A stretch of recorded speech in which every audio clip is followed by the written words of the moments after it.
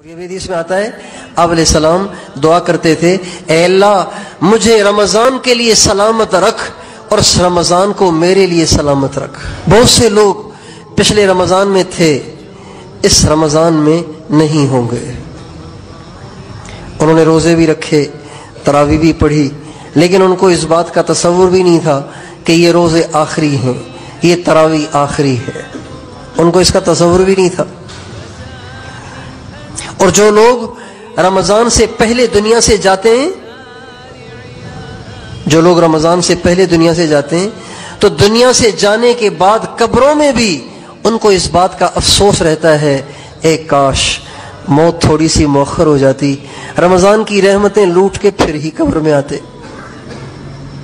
ये रमज़ान का महीना इतना अजीम शान महीना है। हमारे नबी ने फरमाया, रमज़ान के महीने में अल्लाह ताला मुसलमानों के कब्रों से अजाब को हटा देते। जितने मुसलमान दुनिया में दफन हुए, दफन हो गए, उन सब की कब्रों से अल्लाह ताला अजाब को रमज़ान के महीने में हटा देते। हैं अच्छा आगे नहीं है, कोई आगे आपने कोई बात इर्शाद नहीं फरमाई कि अब रमज़ान के बाद क्या होगा? अजाब वापस आएगा या नहीं आएगा? इसके बारे में हमारे नबी ने कोई बात नहीं फरमाई। लेकिन करीन क्यास ये है, अल्लाह के करम से इसी की उम्मीद की जाती है कि वो करीम एक दफ़ा अपने महबूब की उम्मत की कब्रों से अजाब को हटा के दोबारा शुरू नहीं करेगा।